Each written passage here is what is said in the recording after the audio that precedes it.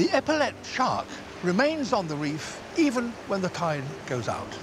Of course, with so little water, it doesn't get as much oxygen as it requires normally, but it deals with that possibility by shutting off a part of its brain and so reducing its oxygen demands.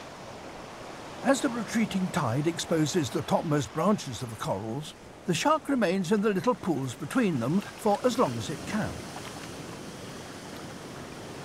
And then it sets off to try and find food. Shrimps, crabs, and small worms that live on the reef.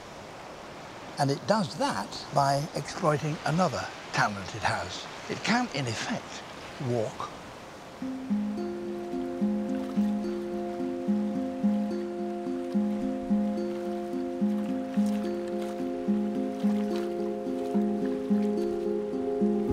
It may be slow going, but the little shark manages to make its way between the rocky pools to look for prey that may be imprisoned in them.